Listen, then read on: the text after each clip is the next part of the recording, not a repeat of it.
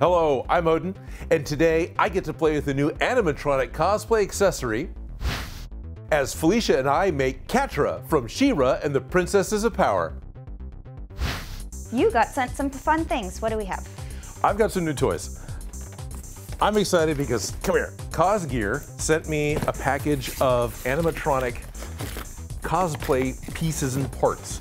What it is, is a set of cat ears, or ears in general, I'm calling them cat ears, right? And then also a long tail. Right now it's a, it's a black box. And then we have uh, some, some fuzzy stuff we can put on it. We'll get to that in a second. Go ahead and open that one up.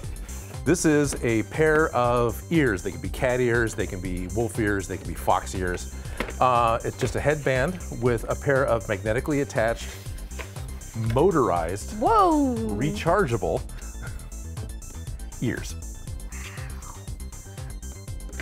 And then inside of the different boxes, I know there's like a headband, so there's an elastic headband if you want to use that instead of the, the hairband. And then I think we have our Charging cable. cable. We have a little bit of Velcro, and it comes with a set of. Uh, Oh, those are gonna be perfect. I can totally just replace this color. oh yeah. This color with the nude. The black's going to work. Okay, good.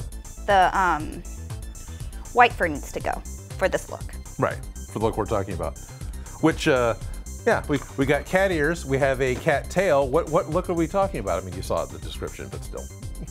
We're making Catra today from She-Ra, Princess of Power. And there's also an animatronic tail.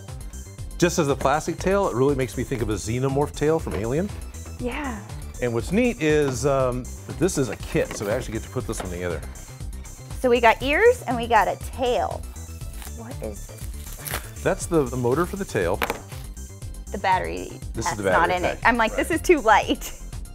I've actually seen one of these uh, when I went to Oklahoma for a con. Uh, a fellow used it for his, uh, Bruce used it for his alien costume. And even though it was only on a mannequin all day, it was, it was really neat that on occasion the tail would just kind of swish, swish a little. The Costail can be assembled in two different lengths. Oh, okay. She has a long tail. I say we do it as long as it can go. Oh, for sure. The individual tail segments are all identical and easy to connect together. For only moving in one direction at each joint, you get some really good movement out of it. Right? The tail connects to the motor in the same way. A metal rod acts as a stabilizer for the desired curve of your tail. A set screw on the motor holds the tension on the wire, keeping that curve. A pair of strings winds down each side of the tail and is secured to the end. And when you power it on, It's alive. so I wonder, does it go through different modes? Because this is definitely doing something different than it did before. So every time you turn it on and off, are you changing? It's supposed modes? to go with your hips. So if you shake your hips more, it moves with the hips. So it's supposed to be intuitive. The belt brace has two adjustable straps. So then, So then this just slides onto, come here. I'll just put this in your back pocket for right now, if you don't mind. not at all. You actually have pockets today. I know. I lots of my stuff has pockets. Dun, dun, dun, dun, Oh, okay. dun, dun, dun. It is totally moving with you. Are you chasing your tail now? Kind of. Kind of. It's fun. I was like, what's going on? but it moves. right. It's so funny we could the make it more taut so that it sticks up more if we Yeah, wanted totally. to. But I think this looks more This is like a this is a good relaxed cat. Yeah. It's funny the uh, the the USB cable cord actually bugs me. it's not important. It shouldn't, but.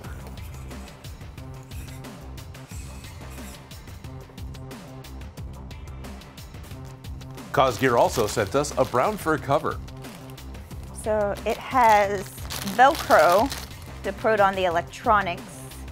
Okay. Place the sticky back Velcro over the motor and slip the Costail into the fur tail cover, and that Velcro on the end will secure the cover to the motor. There we go. Let's get my butt in view. I have a a tail. You have a tail. Do the shift your weight and make it wag. So you're doing that before where you're, yeah, there it goes. Okay, that's actually really cool.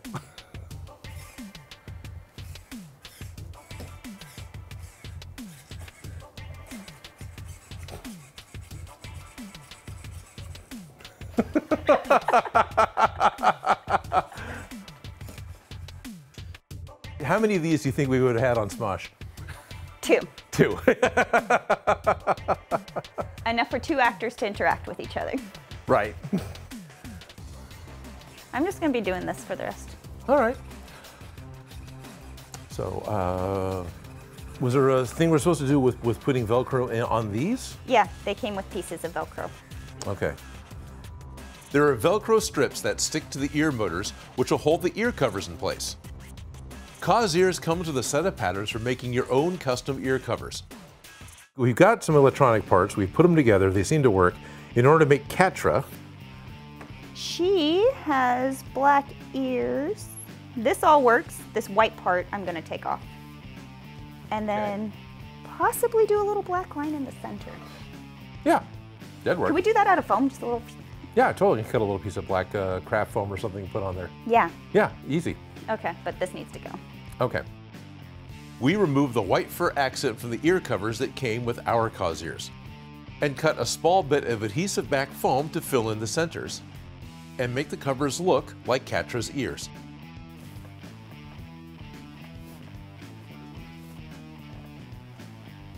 I don't have them on crazy mode. That's probably wise. Now they're, now they're both straight up instead of the one being tilted back a little bit. I think they're reacting to sound. Yeah, Yeah, yeah, they can hear, which is pretty cool. right? The next day, we got back together to finish the costume. Okay, we figured out the tail. We figured out the tail, we figured out the ears, So now it's time to figure out the. headdress, I think. I think it's the next thing to do, yes.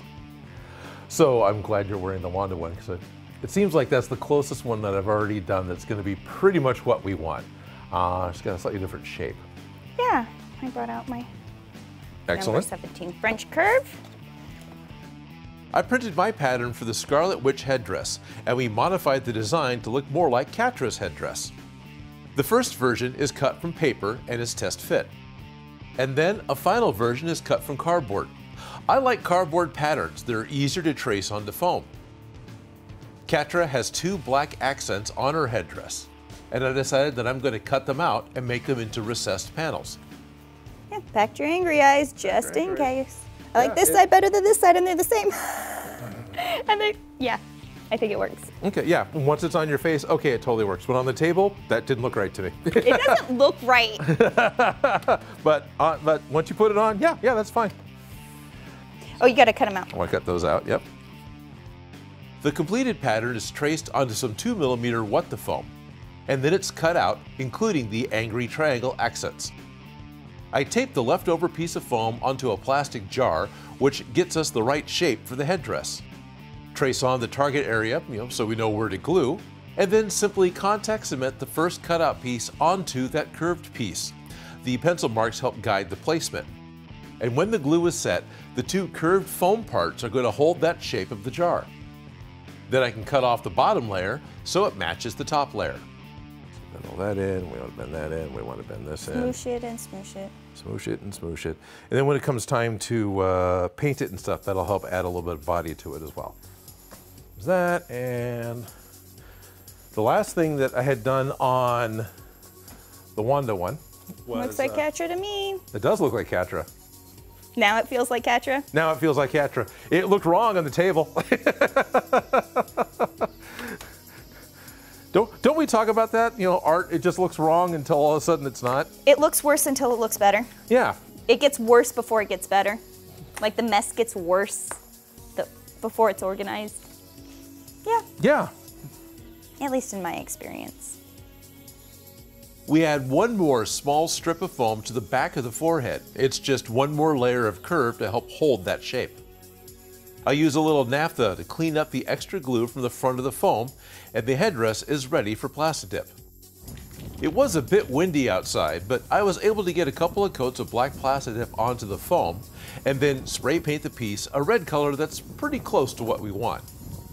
Now, spray paint is not ideal on foam. I mean, it works and it sticks, but spray paint can crack when it's flexed.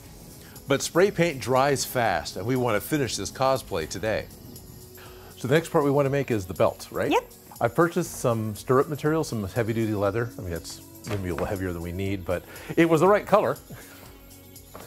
And then they also had a belt buckle blank, which I thought would work well for her belt buckle as a start. So actually, we're making a belt, why not buy a belt buckle? Novel idea. I would have never thought. So it's just, uh, I mean, it's totally Luke Skywalker's belt, but it's just, uh, yeah, so. Felicia measured her waist and decided that 36 inches was going to be a good length for the belts. that was easy. The two inch wide leather belt was cut actually eight inches longer because we needed extra length for the belt buckle. My plan to assemble the two inch belt is to cheat a little. I'm going to punch holes on both ends of the leather and then slip each side of the leather over the post and the buckle. This will allow that extra tab to stay under the belt and will look more like what Catra's wearing on the show. For the half inch wide belt, I just cement some Velcro tabs to the back of the leather. It just needs to be a loop that hangs around Catra's waist. What I really wanted to do was laser etch the Horde logo onto the blank metal belt buckle. But it seems that the metal reflects the laser too much and nothing was etched. So I tried adding ink to the metal just to see if that would let the metal be decorated. And that also didn't work. We just lasered the ink back off the metal. My next thought was to use spray paint. First, I cut blue tape as a mask for the logo, which let me easily paint the logo onto the buckle. I used a clear sealer as a primer first, so the red paint would not leak under the tape. You know, just a little bit of clear might. And while I worked on the buckle, Felicia prepared the orange corset top. The vinyl was nice and thin and stretchy, but that could let the zipper on the front look a little wavy once it's zipped up. So Felicia glued a strip of 2mm What the foam behind the zipper flap, which gives just enough stiffness that that vinyl is going to lay flat. Then she added some chain stitch loops on each hip, sized for the two different belts. Now, how are you making the chain stitch? I see you, looks like you're braiding, but what are you doing with the stitches to make a chain stitch? I'm essentially crocheting, like I'm going to stitch it, but instead of pulling it all the way taut, I grab my thread and make a new loop with that thread, pushing the knot to the bottom. Grab a loop, push my knot to the bottom. And I keep doing that until it's as long as I need it to be. Okay. And this isn't uh, embroidery floss. You're actually using a regular thread. It's just quadruple through the needle. I'm using four strands of thread. That does not take long at all. No, it doesn't, does it? Yeah, that's more than enough. Okay. And then to finish it so it doesn't come undone, you actually like pull it tight. Let it go through the loop and then pull it tight. Oh, okay. So you're tying a knot in the end. Yeah, just pull. Okay. And then I thread it back through to make my loop. And I'm stabbing it through the stitching line, so I'm hiding it Okay. next to a nice bone. Next to a bone in the corset. yes. So it's not going to end up making a, a, a, a It's not going to pull. it's not going to pull and make a little peak. It's going to have a little bit of extra support. The paint on the belt buckle is dry and it's time to peel the tape off. Did it pull the tape off? The paint off? Damn it. Seriously? These belt buckles seemed like such a good idea. They seemed like exactly the right idea.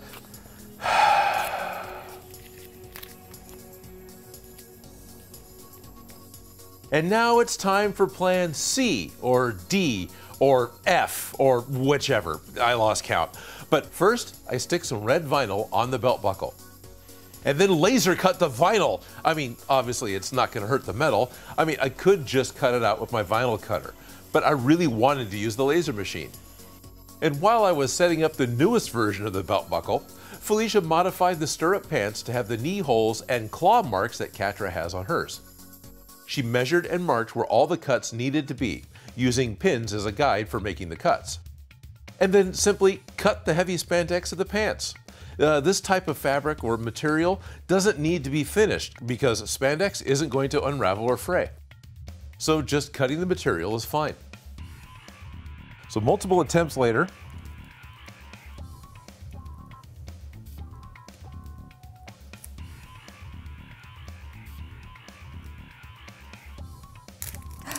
can breathe. hey, so the, the laser cutter can cut vinyl. Actually, it, it, it, it, cut everything else. It just didn't etch this metal probably because it was too reflective, but it cut everything else I wanted it to do. But yes, that's fine with me. I like it. This is even undoable if we wanted to. No, let's.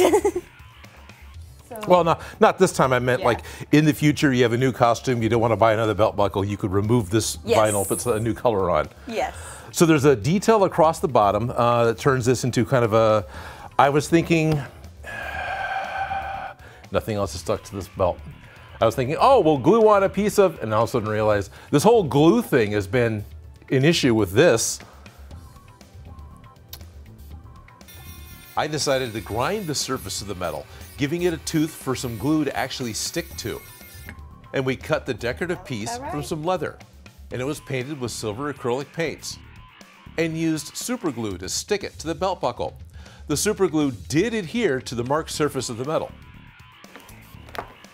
We got all the pieces. We have all the pieces. We have one little detail left to do, and uh, we need to put elastic or something onto the head so it actually stays to your head the most comfortable.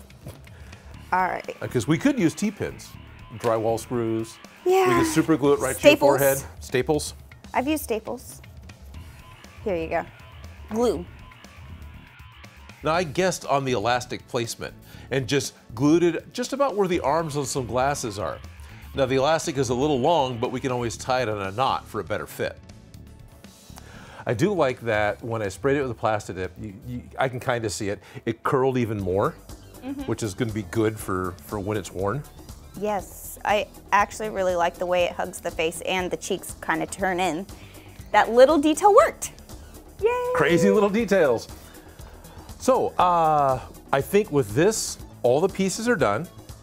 And would you walk us through the parts that we got in front of us? Because we really haven't covered that yet. No, we haven't. We've just been doing individual pieces, but not a whole, Not, yeah, not all the parts that we're going to be using. Yeah. not all put together yet. So, Do you want to start at the top of the head and work your way head, down? shoulders, knees, and toes. Yeah. Starting off, she has a crazy mane. If you guys haven't noticed, my hair got floofier. A little floofy. You have a pink thing. It's gonna get floofier. Does anyone know what this is? I had to explain it to a youngling what a crimp, crimping iron is. what is going on with your hair? I crimped it. And I'm going to do a second crimping Okay. and Okay, get floofier. We'll see how floofy we can get it. nice. Instead of doing a wig, I opted for my own hair just because wigs are uncomfortable and itchy and I, And your hair's pretty close already. right, it's a mane. And then And then you have ears. ears. These things are the cherry on top. They move, they wiggle, and they what they are what's going to make this costume magical. Right. Their sound. I love the sound one. That one's my favorite mode. Cause it's alive. Paying attention. It's it's like a little pet on your head. so we got these really great ears. Um, moving down to the face, we we made the foam face mask. And I really like the way it turned out. and then as we go down on Amazon, I ordered a tank top with a mock turtleneck because it isn't a full turtleneck; it's a mock turtleneck, Okay. sleeveless tank top orange, the right shade, well, right-ish shade of orange, the closest I could find. And it has the V she has on top, and if I really wanted to be semantics, could unzip it to here to have the sharp, Right. but in reality, when it's all zipped up, It's going to fit better. it, it has that same look and feel without it feeling like, why aren't you zipping it up? But I have options, and then we added chain stitch thread loops for the belt. After lots of drama. After lots of drama, trying to get stuff to stick to the metal belt buckle, the one thing I was taking for granted as, oh, it's a metal belt buckle. This will be easy. the part we thought was going to be the easiest, we don't have to think about it part. Right. Took the most tough of our day. Yes, it did. But after six tries, we finally got a Horde logo on the front of the belt buckle. Only six? okay, maybe it was more, but it was somewhere in there. Okay. And then on the other side, it would be the little loop belt. And then we have down to the pants, pair of leggings, happen to be the right color on Amazon also. And stirrups. They're stirrup pants. A, that's good. She's wearing stirrup pants. Specifically stirrup pants. That's what it's called if you guys are trying to order it. Naming things is kind of the hardest part of finding something. There's one other piece we skipped over. What did we? we have the part that makes her, well, ears makes her a cat, but having an animatronic tail is kind of the magic. Yes. we totally did skip that, but yeah, because it's after the. Right. Yeah. yeah, it's all right. Yeah. So I really like that there's the tail that has a personality of its own. Right. I think we got to put this all together. I think so. I'll set up some lights if you want to get suited up. All right. The Cosears are electrically moving ears for cosplay. They move based on sound and head tilts, which is really fun, and they have five modes in total. And they're fastened with magnets and work great both with and without a wig. The Costail is an autonomous electric tail. It follows your hip movement and then moves automatically when you stand still. Both the shape and length are flexible and you can change it perfectly for your character. Both the ears and the tail are made with high quality materials and have interchangeable covers. Cosgear likes to say that these are the only tails and ears you'll ever need. Go to cosgear.co slash odinmakes to get 10% off and bring your cosplay to life. All the items used in this video were ordered online. I put a list in the description. I want to thank Cosears for giving us such fun toys to play with. I didn't, uh, didn't really think about how much fun it would be to have something animatronic added to your cosplay. I think it really adds a lot to Catra and probably helps Felicia channel her inner cat, so to speak. Uh, even though using the laser was a little bit trying, has a little bit uh, disappointment, still if I can find the the right thing. If I had a laser pointer for the cat, that might really do something. Okay, I'll, I'll hurt her eyes, so I shouldn't do that. But, you know, thank you very much, Cosears. Thank you very much, everyone else, for watching. It was a lot of fun putting together the Catra in, in a weekend with Felicia's help. And I know there's going to be lots of different ways you can put together one of the members of the Horde from She-Ra and the Princess of Power. But this is how Odin makes.